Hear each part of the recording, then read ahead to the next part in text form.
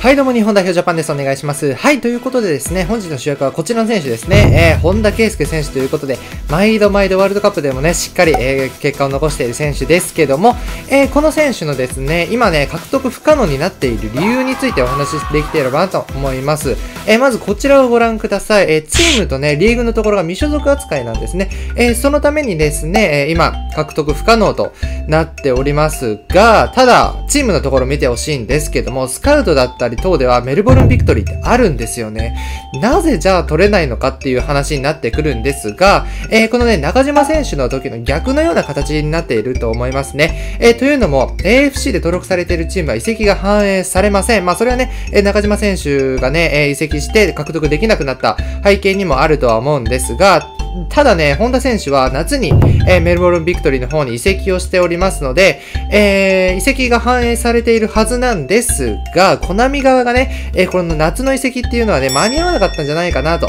個人的には思っております。はい、ということでですね、えー、本田圭佑選手を取るには、えー、日本代表ガチャがね、えー、また来てくれることに期待しましょう。はい、ということで、えー、本田選手ですけども、ちょっとね、え、能力値の方を見ていきましょう。こちら。